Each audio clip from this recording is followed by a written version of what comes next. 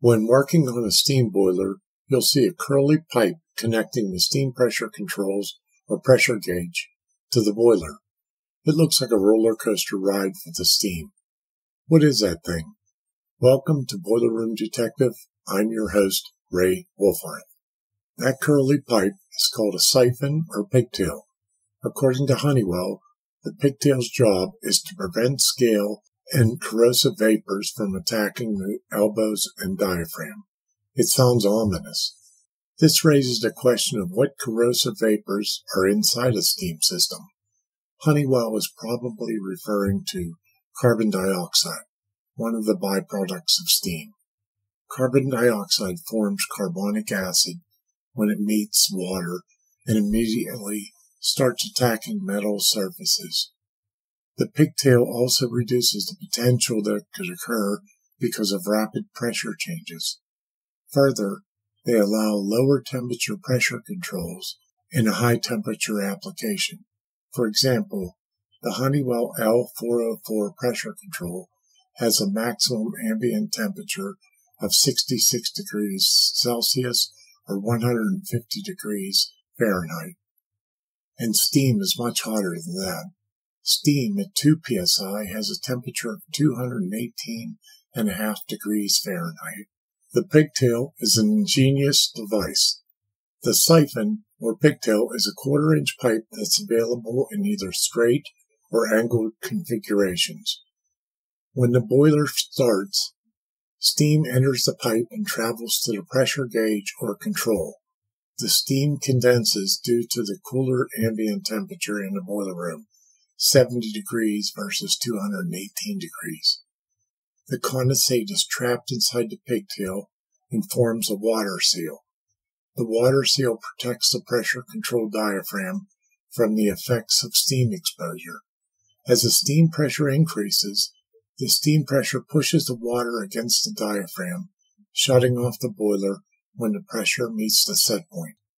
I don't recommend insulating the pigtails as you need the cooler boiler room air to reduce the water temperature inside the pigtail. The older pigtails use black iron, but most states require a non-ferrous or brass pigtail now. Without a pigtail, the controls will last only a year or two. A drawback to the pigtail is they have a nasty habit of plugging. If it does, pressure control or gauge will not read the proper steam pressure in the boiler. This could cause a runaway boiler. That's never a good thing. The brass ones don't clog as quickly as black iron, but they still clog. If the siphon plugs, it's almost impossible to clear it. I have tried straightened clothes hangers, hot water, Dawn dish soap, high pressure air, all without much success. It's much easier and less expensive to just replace the pigtail than to take the time to clean it, so I keep spares in my truck. A commercial boiler will have two or more pressure controls, typically operating control, limit, and firing rate controls. When choosing the location for the boiler pressure controls, I like having the controls on different boiler connection points.